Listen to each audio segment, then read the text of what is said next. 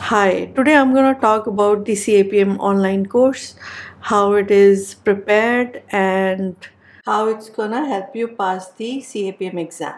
You guys know that the CAPM outline, course outline have been changed, which means there is new course which you need to do to pass the CAPM exam.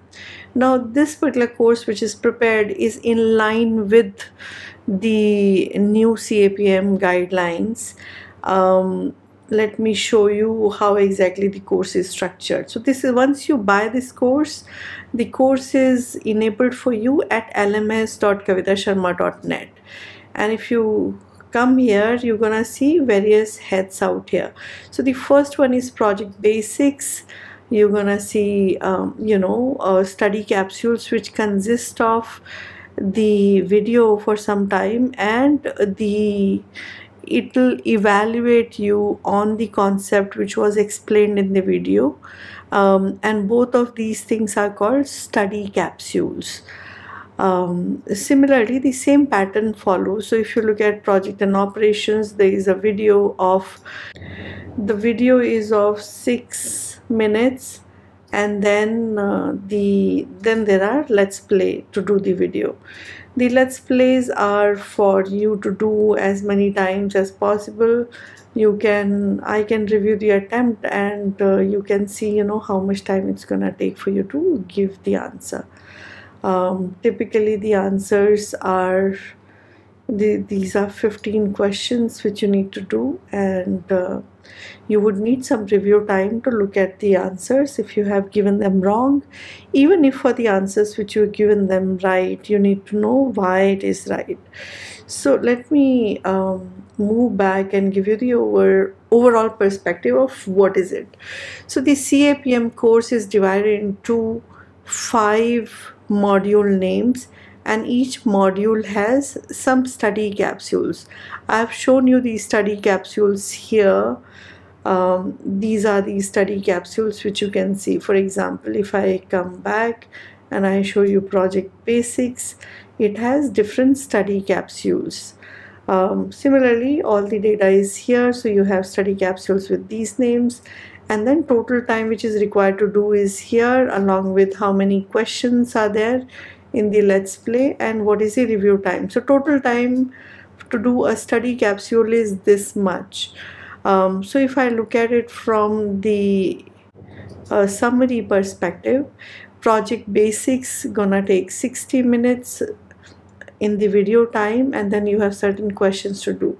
Review time is typically same as let's play question but sometimes can be you know less or more so the total time required is here which you see. Similarly business analysis you have certain study capsules and then there are you know review time which is required. Same goes for um, agile. Let's see what are there. So there are agile life cycles and then the um, you know questions.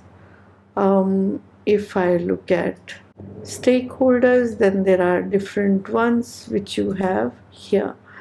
So I'm just gonna and then predictive processes. And it has different study capsules along with the time. Um, let me show it to you over the LMS also so you, we have project basics, business analysis, study capsules here, agile life, life cycle here, which is third module. Fourth module is stakeholder communication and people. And then fifth is predictive processes. You predictive process is slightly big, but you do want to do it for your perspective, understanding the projects and uh, to have a growth path towards PMP and obviously passing the exam, CAPM exam. Here you can download the uh, you know 25 PDUs some feedback is required so do that. So here you get a PDU certificate 25 PDU certificate. The certificates kind of look like this. It can be let me show it to you. It can it has your name when you have completed this and you can submit it to PMI for your verification or eligibility of the CAPM course. so let's talk about the study plan.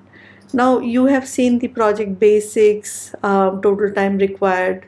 So I've kind of added number of hours required here so if I look at project basics the total time requirement is 2.8 hours. You should be comfortable to do it in one day if you keep three hours in your schedule or if you keep two hours in your schedule. So typically i've kept two hours per day. Block your time if you are doing self-study. Block your time to do self-study for capm exam towards the exam. Um, so project basics gonna take two days for you. Business analysis is gonna take one day. Agile project life cycle 1.1 day. I'm gonna just ra- round it up. Um, take one day. Stakeholder communication and people gonna take 2.5 days or 3 days. And then predictive processes gonna take somewhere around 5.7 or 6 days. So total requirement if i look at you should be able to complete it comfortably between 12 to 15 days. That's how the study time should be. Now once the study time is done you have gone through the course. It will help you understand the concept. The second thing after doing this course is you need to e- start evaluating yourself. How do you evaluate yourself? So um, come back to lms there is another course which is given for you the course is capm test. It, it has a 21 days plan and day-wise questions. So you can go ahead and do day-wise questions and full length question five full length question. So typically you would need to have somewhere around 10 15 to 20 days to do this. And you should be able to complete your capm preparation for within uh, 21 days to if you take 2.5 hours per day you should be able to complete it within 21 days maximum by 40 45 days. So that's how the overall CAPM preparation looks like for you. That's it from me. In case you have any question please write to me. You have my email id i look forward to answer any of your question. Thank you. Have a very nice day bye bye